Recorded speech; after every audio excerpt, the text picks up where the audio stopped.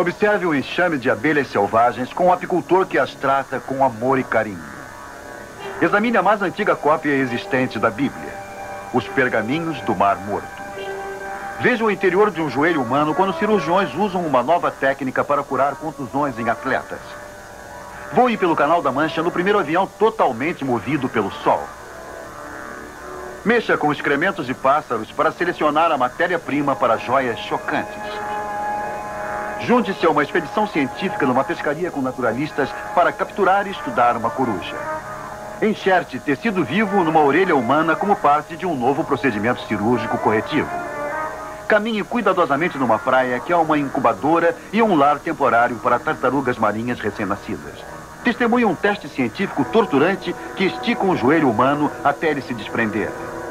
O estranho, o bizarro, o inesperado. Esses são os assuntos que um homem chamado Robert Harry Ripley nos desafia em Acredite se quiser. Este é um dos lugares mais desertos de Israel. É chamado Kirbat Konra, as ruínas de Konra. No passado, entretanto, foi o lar antigo de uma seita religiosa chamada de Assides. Embora estivessem bem instalados antes da época de Cristo, seus ritos, de muitos modos, eram similares aos praticados pelos primeiros cristãos. Para registrar no que eles acreditavam e como eles viviam, eles escreviam em pergaminhos, aqui, no que chamavam de escritório. Nesta sala, escribas copiavam cuidadosamente os livros do Velho Testamento. Eles usavam um estilete como este e tinta deste porta-tinta de barro, ainda aproveitável após 20 séculos. E, quando o trabalho terminou, os homens que haviam escrito os pergaminhos os guardaram em potes de barro e os esconderam em cavernas lá em cima para protegê-los e conservá-los de invasores. As montanhas pedregosas os mantiveram seguramente guardados por dois mil anos. Em 1947, um jovem pastor beduíno chamado Mohamed Douf veio até aqui procurando uma cabra perdida. A cabra devia ter penetrado numa das cavernas existentes nas escarpas desta colina deserta. Então, ele jogou uma pedra. Talvez na esperança de que o barulho forçasse a cabra a sair de onde estivesse. Mas o barulho que ele ouviu ao jogar uma pedra nesta caverna em particular foi a de um vaso quebrado. Ele investigou e deu um passo há dois mil anos no passado.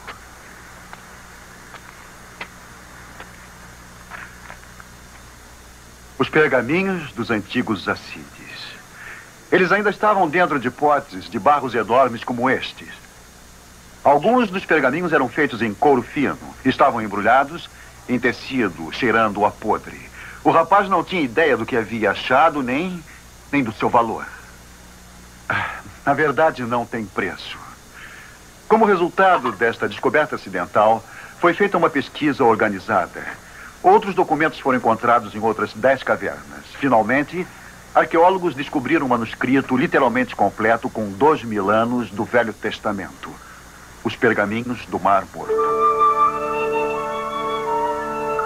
Em Jerusalém, os documentos históricos são protegidos aqui, sob a abóboda do Santuário do Livro. Eles podem ser vistos, mas protegidos por vidros especiais. As mãos que escreveram estas palavras em hebraico há muito tempo transformaram-se em pó. Mas, milagrosamente, as palavras se conservaram. Esta é uma parte dos pergaminhos do Mar Morto. Para estudiosos, estes pergaminhos antigos são o maior manuscrito descoberto neste século. Eles são provas da Bíblia que, como sabemos, apesar de muitas traduções com o passar dos séculos, permanece impressionantemente fiel ao original.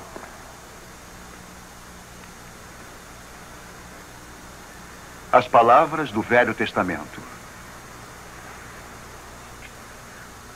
Mais de mil anos mais velhas que qualquer outra cópia no mundo.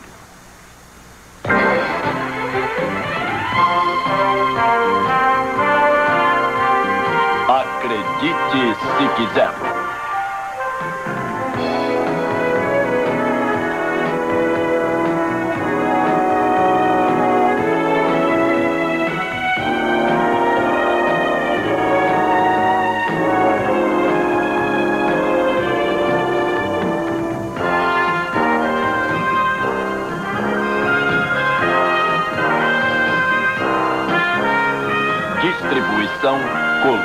Pictures Television. Versão brasileira, Herbert Richards.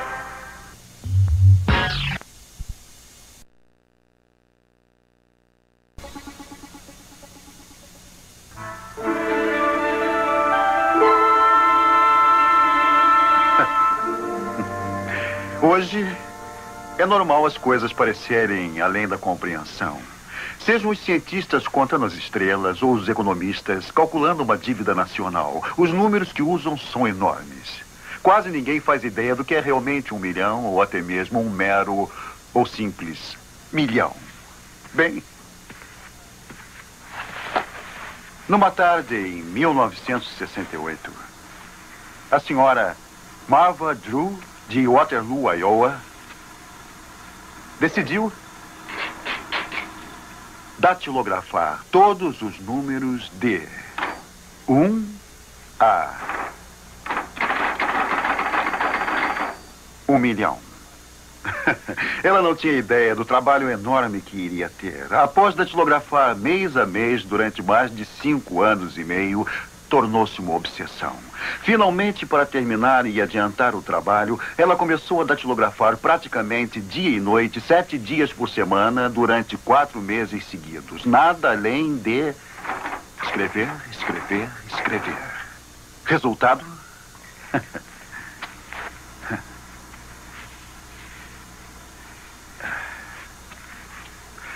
Começam com o número um, bem aqui na página 1 e terminam aqui. Na página 2473. De 1 a 1 milhão. O fascínio pelo incomum pode às vezes ser canalizado para até objetivos muito úteis.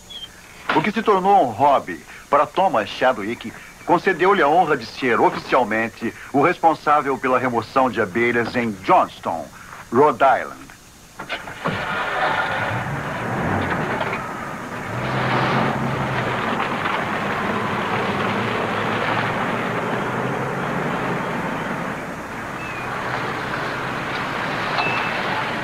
Oi, sou Thomas Chadwick. Venho remover as abelhas. Onde está o enxame? Por aqui. Estiveram no outro local? Não. Sempre estiveram neste galho? Sempre. Muito bem, eu vou buscar os meus instrumentos para a gente retirar o enxame daqui. Para remover um enxame de abelhas ativas, como este, Chadwick começa oferecendo-lhes uma refeição. Ele espalha açúcar dissolvido em água. Para ter certeza de que as abelhas se manterão calmas durante esta demonstração de sua técnica, ele também as envolve numa névoa de fumaça tranquilizante.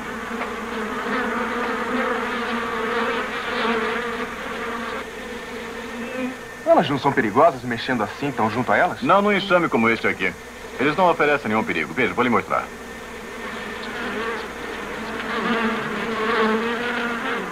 O segredo de Chadwick para se lidar com abelhas é, primeiro, saber o que estão fazendo. E segundo, não deixar que se enervem com você.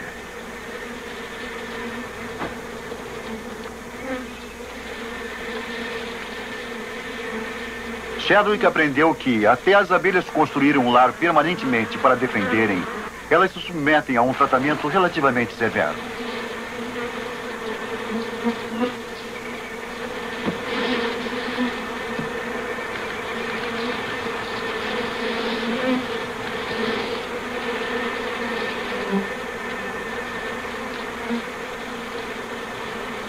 Durante os meses de primavera em que as abelhas migram em busca de locais para se fixarem, enxames de forma indefinida como este são comuns. Cada enxame, entretanto, responde às mesmas técnicas.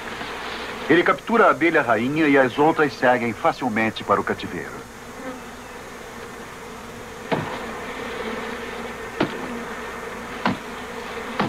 Apesar do perigo evidente, Chadwick raramente é picado durante uma remoção. Para alguém sem a sua experiência, entretanto, pode ser muito arriscado.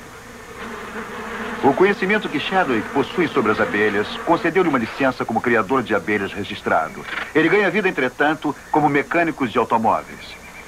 Para ele, remover abelhas é um hobby.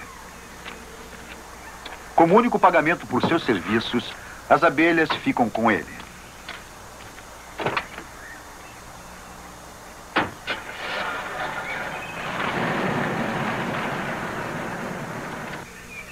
Ao capturar as abelhas e levá-las para casa, Chadwick evita que elas façam mal às pessoas e que as pessoas façam mal a elas.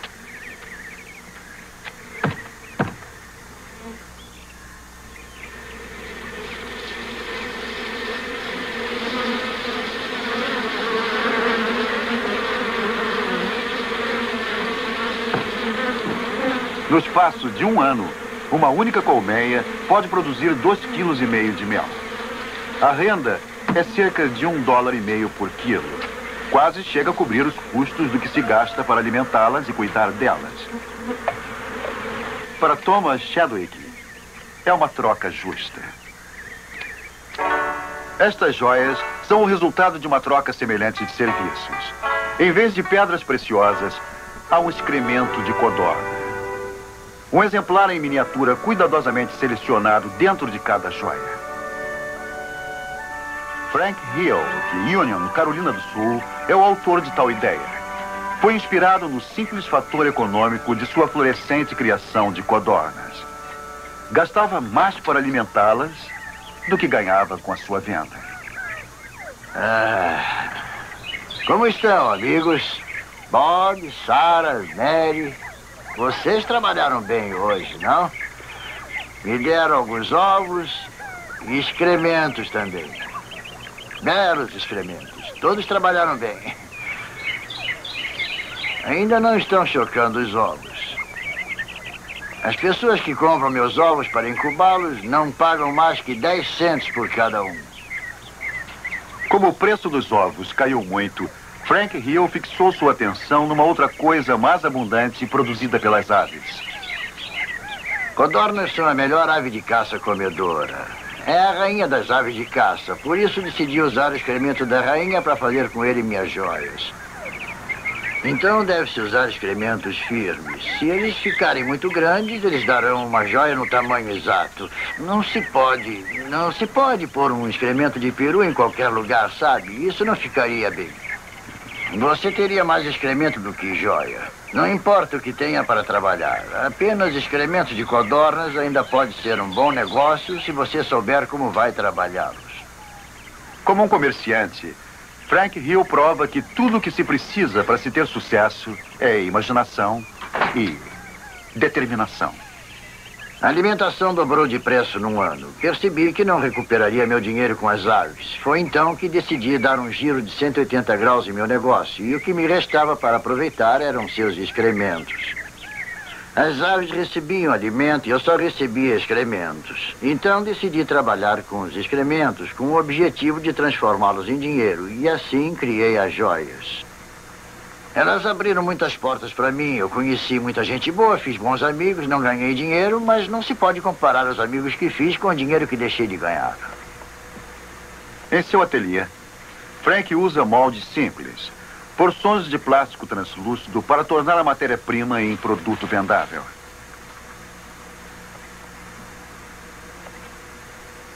O equipamento torna-se um tanto difícil de se usar após oito anos de serviços, mas ele ainda funciona.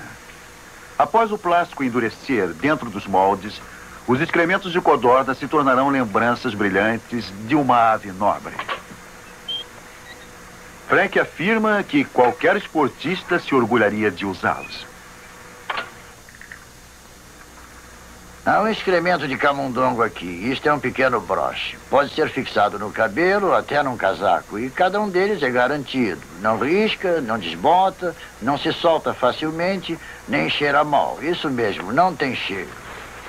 Isso é uma prova de que na América pode-se vender qualquer coisa se se souber como apresentá-la. Até excrementos de codornas.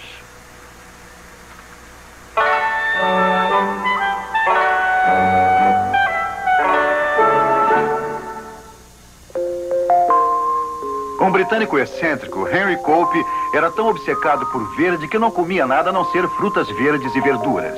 Acredite, se quiser.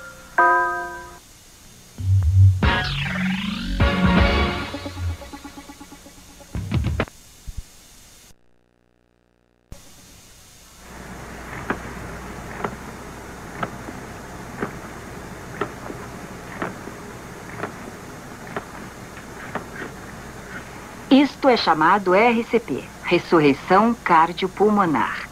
É um modo de salvar vidas, de reanimar alguém cujo coração e respiração pararam. Ótimo. Está atuando no lugar certo. Mas da próxima vez, tente pressionar com mais delicadeza. Vamos lá, tente de novo. E aquele é meu instrutor. Ele está falando comigo por um disco laser conectado com um computador que está conectado com este manequim. Tudo isto foi planejado para ensinar as pessoas como salvar vidas. O sistema permite que eu dê uma parada sempre que eu queira. Assim posso prosseguir em meu ritmo. O manequim, uma moça chamada Ressuciene, foi feita para responder a qualquer movimento que eu faça. 14 sensores diferentes no interior do seu corpo informam se eu estou agindo corretamente. O instrutor, dentro do computador, me dá conselhos úteis. Se você pressionar o ponto correto, ouvirá um tom bem alto. Mas se acidentalmente você sair do ponto correto, ouvirá um tom baixo. Certo? Agora tente outra vez.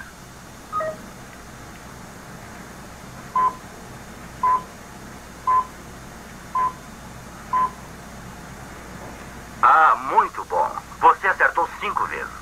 Dos meio milhão de americanos que morrem a cada ano em situações de emergência cardíaca, quase 200 mil poderiam sobreviver se seus familiares soubessem como executar uma RCP. Aprendê-la com ou sem a ajuda desta máquina pode ser o melhor presente a ser dado a alguém que você ama. A própria vida. Como um exercício ou um esporte, correr pode fortalecer o coração e melhorar a circulação sanguínea.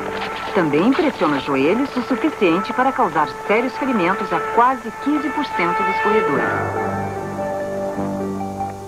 A cada passo, os joelhos absorvem três vezes o peso do corpo. Para descobrir como os joelhos suportam tamanho esforço, um modelo artificial de um joelho foi construído na Universidade de Cincinnati. Pesquisadores recriaram músculos e outros tecidos macios. Os ossos, entretanto, eram humanos. A experiência foi planejada para calcular quanta pressão um joelho pode suportar.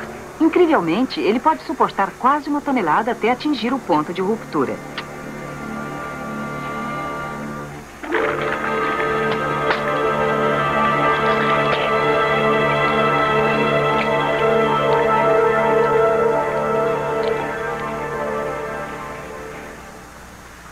Atletas campeões, contusões nos joelhos são muito comuns. Martin Gerard é um campeão universitário de luta que foi afastado devido a uma ruptura na cartilagem do joelho no meio da temporada. Felizmente, entretanto, sua contusão pôde ser submetida a um novo tipo de tratamento chamado cirurgia artroscópica. Executada por uma equipe cirúrgica no centro hospitalar Lehigh Valley, na Pensilvânia, a operação implica na injeção de uma solução salina e na introdução de uma pequena câmara.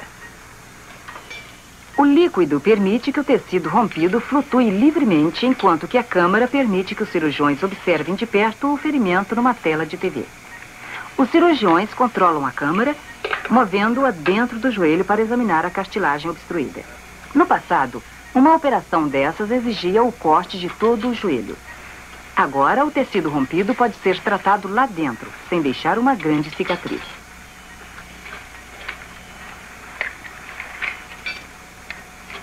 Devido à solução salina, o tecido rompido parece estar flutuando numa corrente tranquila.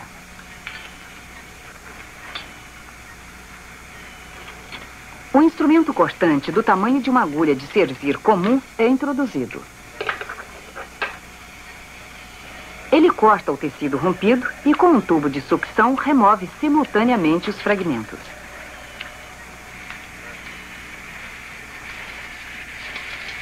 A superfície lisa acelerará o processo de cicatrização.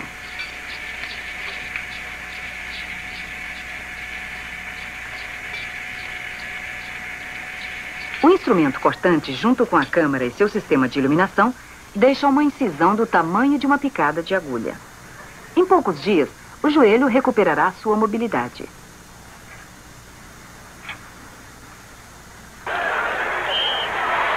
Para Martin Gerard, esta operação lhe permitiu retornar aos treinos em um mês. Ia a participar de competições em pouco menos que seis semanas. Ele se tornou campeão universitário da Pensilvânia.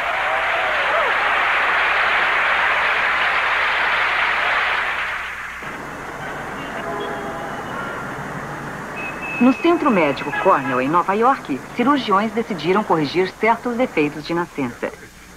Determinadas condições que causam defeitos nas orelhas e, às vezes, a ausência total da parte externa da orelha. Este é o caso deste menino de 11 anos, Alexander Morial. Para criar novas orelhas, cirurgiões plásticos se ofereceram como voluntários para executar uma operação em três partes. Primeiro, uma pequena parte da castilagem foi removida das costelas de Alexander.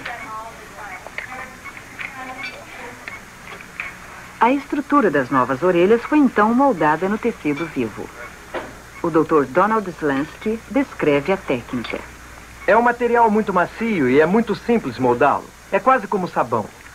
Assim podemos obter a forma que necessitamos. Então nós eh, nós criamos uma bolsa sobre a pele onde a orelha deve ficar nós damos o formato certo, deixando o oco, usando instrumentos. Usamos esses instrumentos, que são todos de madeira. Os instrumentos podem ser incomuns, mas o resultado justifica seu uso. Esta aqui vai ser a orelha direita e esta outra vai ser a orelha esquerda. E aqui ficarão as saliências normais e sulcos da parte externa. Com o formato de uma orelha, a castilagem moldada será introduzida sob a pele. Ali, ela se tornará novamente uma parte viva do corpo de Alexander.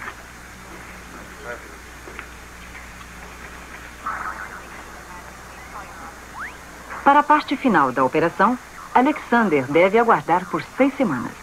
Nesta época, as primeiras incisões estarão cicatrizadas e a castilagem terá, com certeza, fixado raízes sob a pele. O que ocorrerá a seguir é explicado pelo Dr. Slansky. Agora temos a estrutura dentro, aqui dentro, e vamos fazer um enxerto de pele e liberar a estrutura. Assim você vai poder usar óculos se precisar. E se você não usa óculos? Faremos o mesmo aqui. A estrutura está na orelha e no lóbulo e vamos soltá-la por por estar bem ao lado de sua cabeça, assim terá algum espaço atrás de sua orelha. Como sabe e como já conversamos, Deus faz isso muito melhor do que nós. Mas em seu caso, podemos chegar bem perto e as pessoas não vão parar e olhar para você na rua e só vão perceber a alguns metros de distância. Alexander Morial não é o único a precisar de tal cirurgia. Milhares de crianças nascem a cada dia com o mesmo defeito. A técnica corretiva está hoje à disposição nos maiores centros médicos. Para completar a criação das novas orelhas de Alexander, dois procedimentos são necessários. Após traçar cuidadosamente o formato, a pele em volta da castilagem será cortada para permitir que a orelha se afaste da cabeça. Enquanto Alexander permanece anestesiado, os cirurgiões devem cobrir a área exposta atrás de sua orelha. A pele a ser enxertada virá das coxas de Alexander e será removida por um instrumento especial em um só pedaço.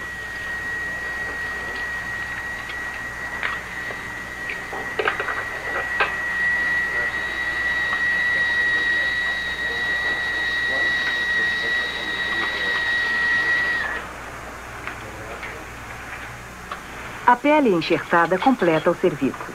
Para ver o resultado de seu trabalho, os cirurgiões devem esperar.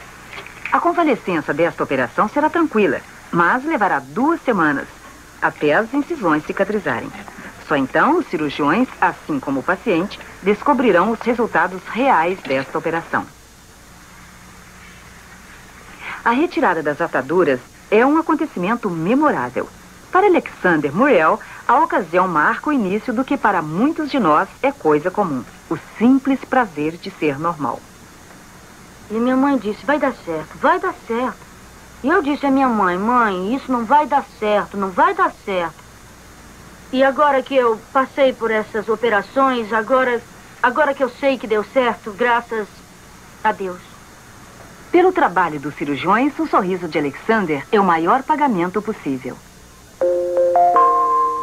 Na Inglaterra, no século XVIII, caracóis eram cozidos com chá como remédio para congestões. Acredite, se quiser.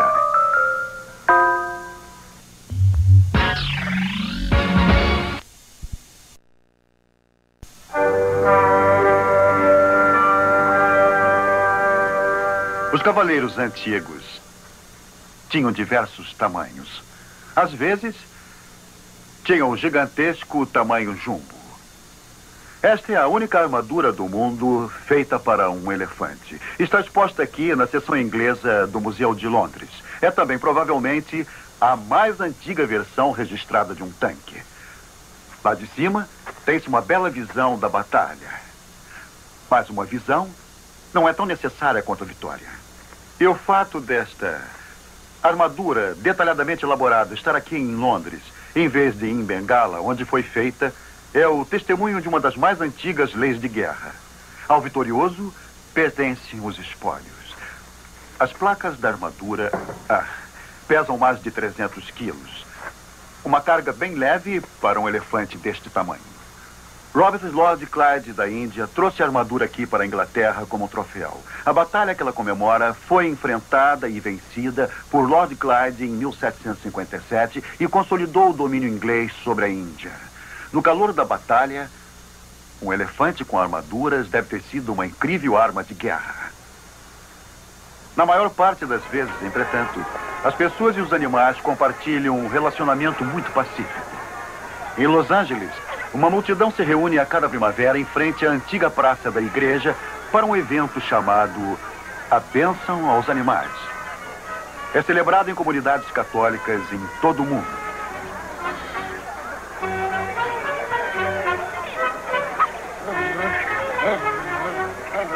Embora certas criaturas possam parecer muito pouco merecedoras de tal afeição, todas são bem-vindas. A bênção dada em nome de Santo Antônio de Abade, o santo protetor dos animais domésticos, começou na Espanha há uns mil anos.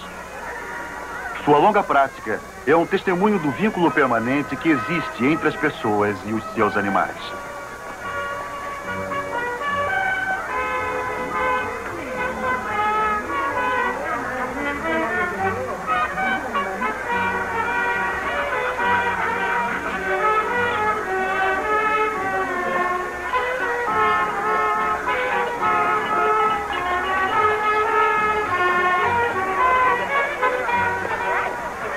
Carroça elaborada, construída para um único pássaro, é uma prova da afeição que alguém pode ter por seu animal.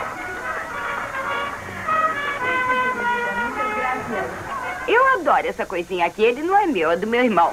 Mas eu sei que ele vai para o céu dos cachorros com todos os outros bons cachorrinhos que foram abençoados. E só de pensar que ele será sagrado. Na Malásia Oriental, a grande tartaruga de coraça flexível a maior de todas as tartarugas sai do mar rumo à costa nesta praia todos os anos. É um ato instintivo, nascido na necessidade de perpetuar a espécie.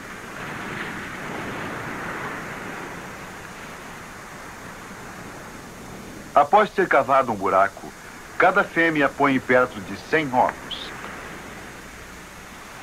Infelizmente, algumas pessoas também vêm à praia. Este é um dos motivos pelos quais as tartarugas estão em perigo de extinção. Na Malásia, ovos crus de tartaruga são considerados uma rara especiaria. Para evitar esta predação humana, a Federação Mundial de Vida Animal e o governo da Malásia criaram uma área protegida para os ovos serem incubados.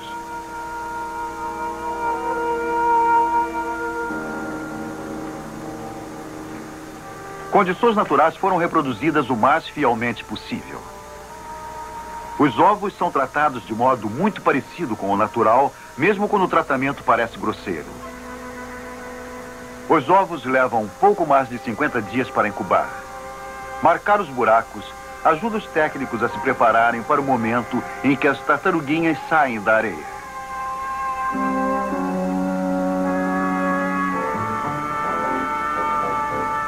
Imediatamente, com um apurado senso instintivo de direção, elas rumam para o oceano.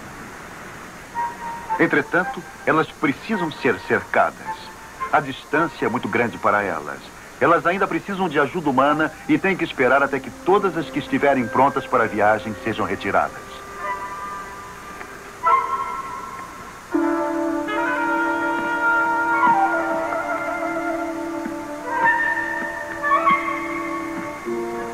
Os cientistas acreditam que deixar as tartarugas cruzarem a última parte da praia fixa o local em suas memórias para que retorne quando estiverem prontas para pôr os seus ovos.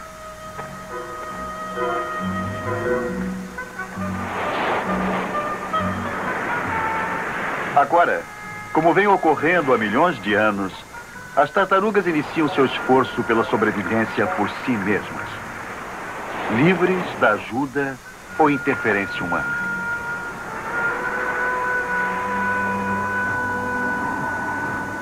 As florestas próximas a Winnipeg, Canadá, proporcionam abrigo e alimento para a grande coruja cinza.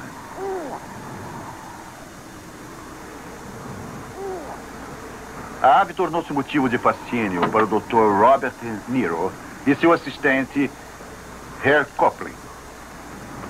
Antes comuns nestas florestas, a grande coruja cinza é hoje muito rara, pois a presença humana reduziu seus campos de caça.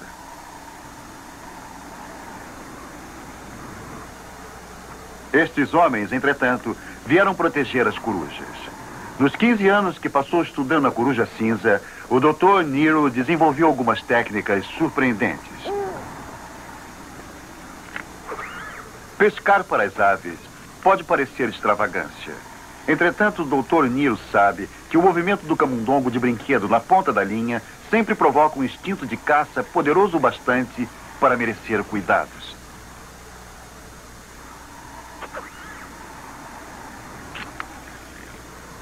Esta coruja exige uma presa bem mais tentadora. Este camundongo está vivo, embora endurecido pelo frio.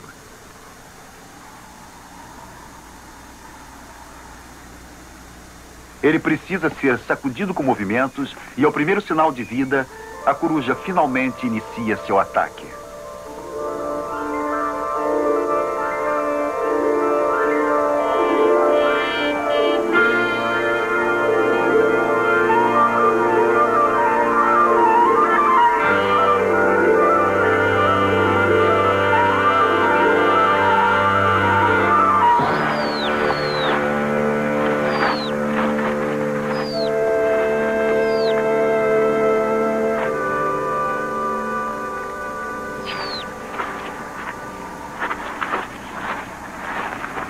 Dr. Nilo sabe, por sua experiência, que a rede não machucará a coruja.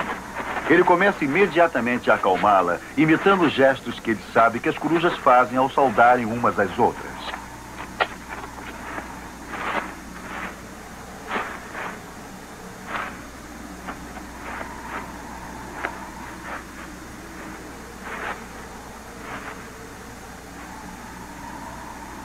Aceitando rapidamente o Dr. Niro, a grande coruja cinza responde como se estivesse limpando ou ajeitando as penas de um novo macho.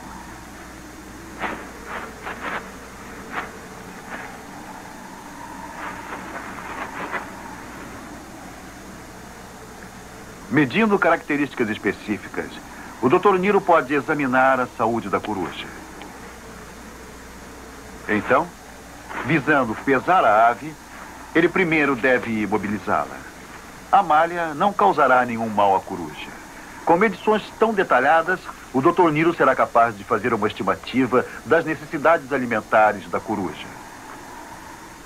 Como resultado, ele pode determinar o território exigido pela coruja para satisfazer o seu apetite.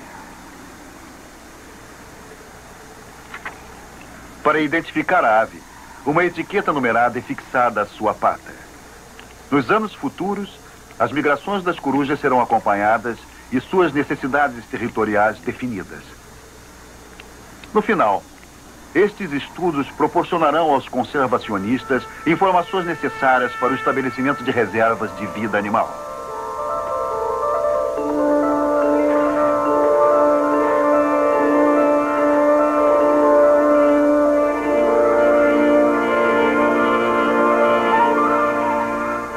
As etiquetas numeradas podem ser um tanto incômodas para a coruja, mas podem ajudar a assegurar a sobrevivência da espécie.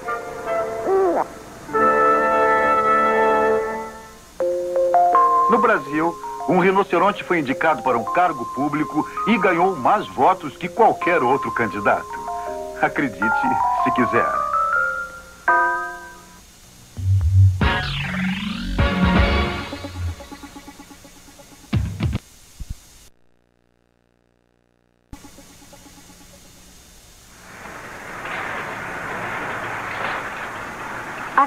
No Museu de Ciência de Boston, existem exposições elaboradas como esta aqui.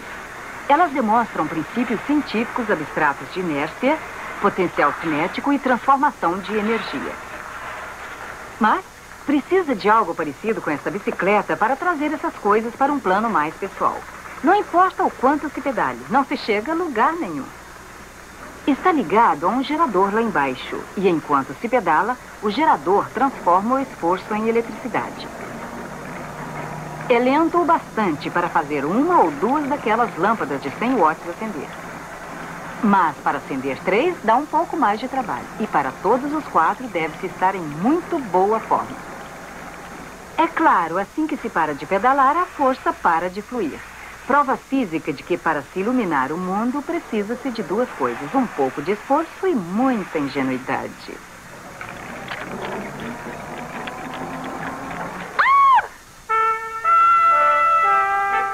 O Sol, a fonte máxima de quase toda a energia que usamos. Para um cientista americano chamado Paul McCreary, o desafio é a construção de um avião movido diretamente pelo Sol. Para fazer isso, é preciso um desenho que combine peso mínimo com resistência máxima. McQuarrie não depende do Sol para o primeiro teste de voo de seu avião, mas de uma pequena bateria. Antes de submetê-lo à força do Sol, ele precisa estar certo de que tudo funcionará perfeitamente. O pequeno avião requer um pequeno piloto.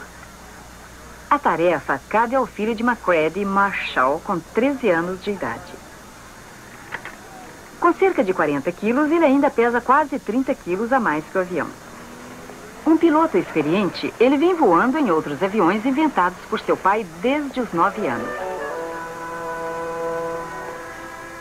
McCready tem certeza de que o avião é seguro, mas Marshall cumpre ordens de voar bem próximo ao chão.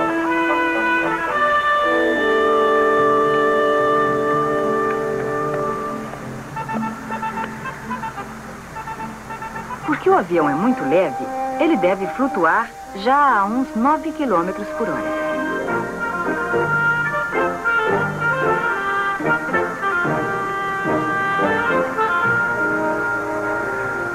Apesar de sua baixa altitude, o voo prova a resistência do avião. Como o herói num conto de aventuras, o jovem piloto de provas acaba de abrir caminho para um próximo passo pioneiro. A bateria do avião será substituída pelas células solares fornecidas pela NASA. As finas fitas negras de silicone transformam a luz do Sol em energia elétrica. Embora ainda muito caras, elas podem se tornar uma importante fonte mundial de energia. McCready acredita que usando grande quantidade de células para acionar seu avião, ajudará a provar que a energia solar pode ter uso prático.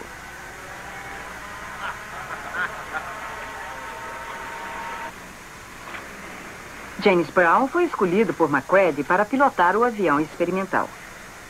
Para cumprir severas exigências quanto ao peso, ela fez dieta e cortou seu cabelo.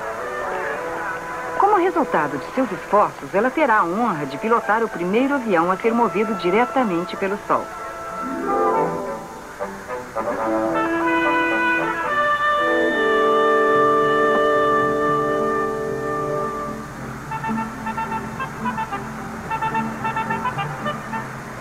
Quando James Brown vira o painel para o Sol, as células recebem energia para acionar a hélice. Quase instantaneamente, o avião desajeitado levanta voo.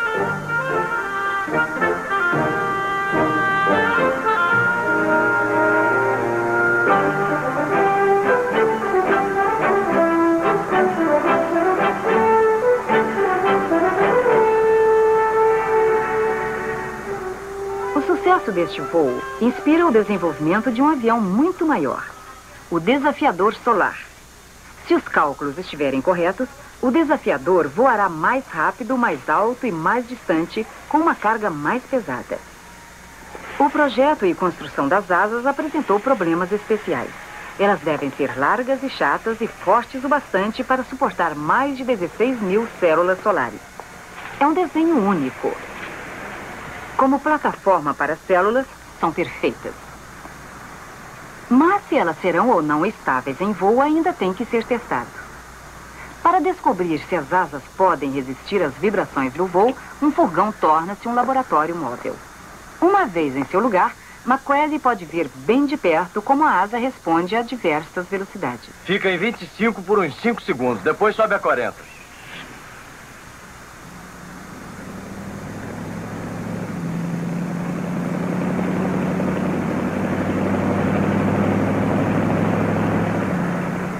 O novo desenho da asa prova ser estável e seguro.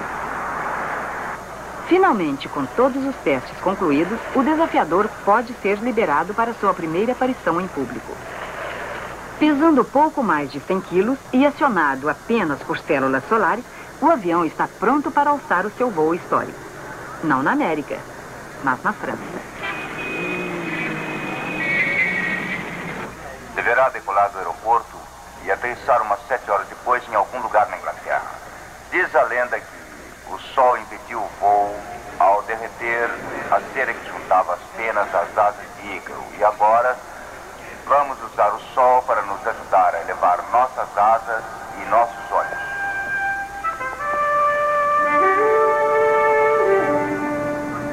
O desafiador será observado constantemente, tanto por um avião de passeio quanto por controles em terra.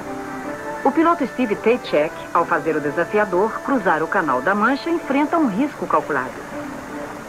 Para completar a viagem de 110 quilômetros de Paris à Inglaterra, ele deve ganhar altitude imediatamente. Se as nuvens encobrirem o sol, ele pode então voar para a segurança.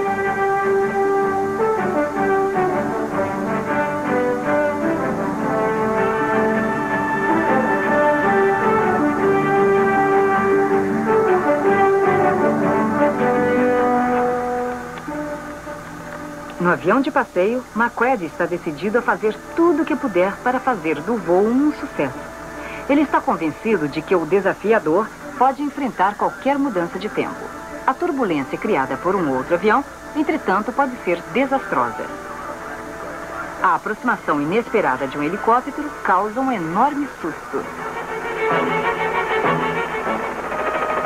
Como a preocupação de McCready aumenta, Seichek decide uma manobra perigosa.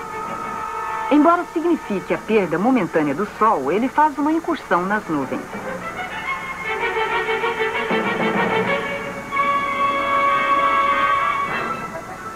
Finalmente, após cinco horas e meia, o desafiador solar está sobre a Inglaterra. Contato, iniciar a busca 1, 2,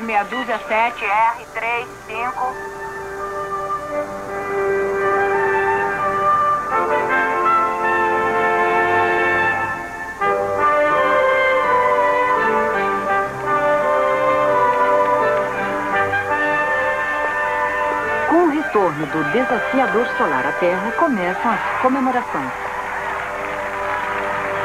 Meus parabéns, hein? Muito obrigado.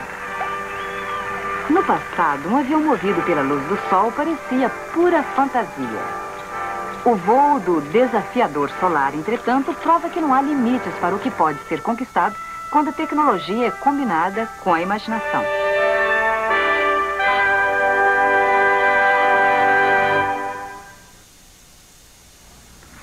Palavras, palavras, palavras. Para um escritor, elas são suas ferramentas de trabalho, mas todos eles as usam de um modo bem particular para criar sua própria maneira de dizer o que pensam. Dickens, Tolstói, Balzac. Cada um tinha o seu próprio estilo. Ernest Hemingway, por exemplo, escrevia em resumo frases curtas. Marcel Proust possuía um modo complexo, uma forma enrolada de se expressar. E James Joyce, é, o grande escritor irlandês, bem, ele costumava devagar um pouco. Os críticos geralmente concordam que seu romance clássico sobre a vida em Dublin, Ulisses, é uma obra-prima. Nenhum professor de inglês no mundo, entretanto, o teria aprovado numa prova final. Ele contém uma frase que contraria praticamente todas as regras de gramática que existem. Ele simplesmente inicia com as seguintes palavras: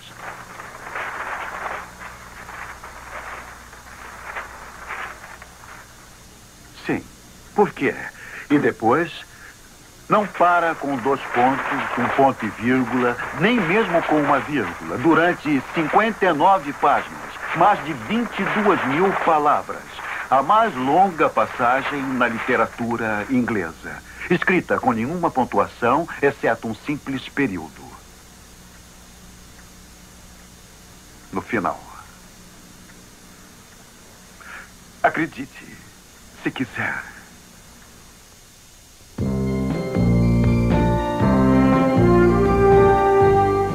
Canal 21 UHF são Paulo. Veja logo mais às 10 da noite um grande filme com som original e legendas em Campeões da Crítica.